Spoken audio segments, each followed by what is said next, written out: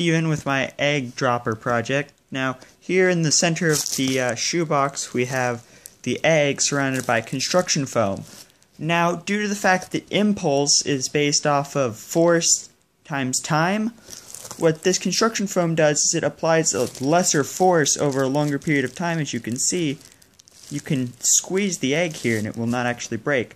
And then surrounded by that, I also have um, bubble wrap, which also condenses, like as you can see.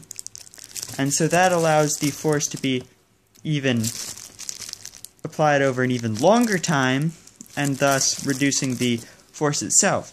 Now, to make sure that the egg does not fall out, and I have this cap right here with an egg hole in the top, which goes over it, and then is covered by this bubble wrap. So, then the box is put on, and in order to prevent the box from coming undone, there is tape which holds the top on, right like that. And my egg dropper is ready to go. Now, I know that we don't necessarily need to do this, but I'm going to drop this off of my balcony. Well, and here we go. There it is down there. Now we're going to go down and retrieve it. Hey, Charlie.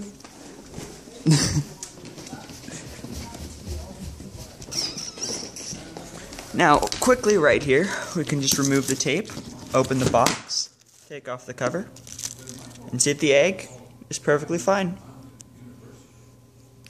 Thank you. I hope you liked my egg design, and uh, take care.